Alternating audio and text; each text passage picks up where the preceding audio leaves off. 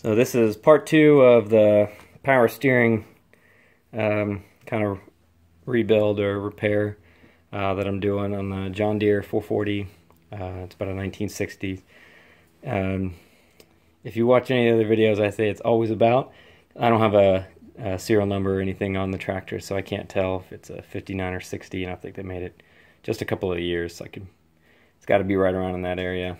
Um, it is a five-speed, and I did try to give, I, I, can do a range of what serial numbers I think it is, but that's as close as I can get. But it's got, um, basically it has power steering, so it has a control assembly here where all the power steering lines come into, um, and then it gets these caps, and out of the caps there's uh, basically these shafts with uh, pins in them, and that gets uh, that gets basically uh, steering rods or steering shafts that that um, join up to these. And as you turn the wheel it changes these little holes where the little holes are at and it controls uh, pressure going to the rack and pinion assembly.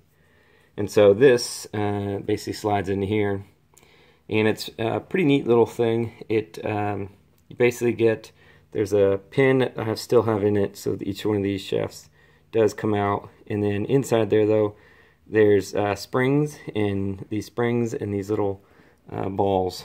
I have no idea what the purpose of those are because once they go in, um, you know, this stuff moves around uh, and I guess the little balls ride around inside there. Uh, but they don't really, uh, I guess they kind of hold it in place uh, from being able to come out.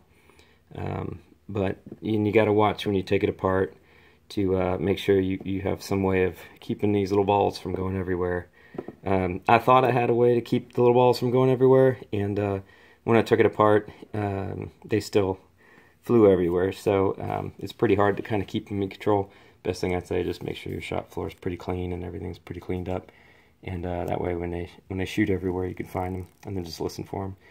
But for me, uh, a couple of O-rings are not bad, but I did have a few O-rings that were bad, and so I was getting um, some leakage outside around these shafts. Um, I was getting fluid coming out and, and dripping down on the gas tank and everything. So um, while I had it up in, pulled in, doing all the other stuff, I tore this apart, uh, pressed these shafts out, took everything out, and uh, I'm going to replace the O-rings that go uh, to keep the fluid from running out of this guy.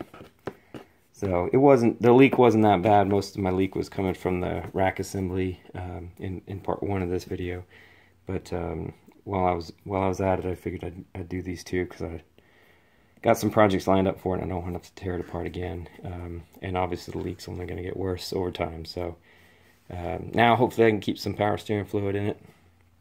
Um, actually, might use hydraulic fluid uh, next. I like that it's a little bit thicker. Uh, it should be anti-foaming and uh, essentially a power steering pump's pretty close to a hydraulic pump. So, um, you know, I thought that would help keep a lot of the parts and pieces lubricated uh, in the system. It's kind of old, um, and hydraulic fluid might be a little bit thicker than power steering fluid. So, you know, where I've got a little bit of wear on some of these shafts and everything, that hopefully that a little bit thicker oil will keep it, uh, slow it down a little bit from trying to, to, to leak out. So, so that's uh, part two. That's the, the valve control assembly uh, for the power steering.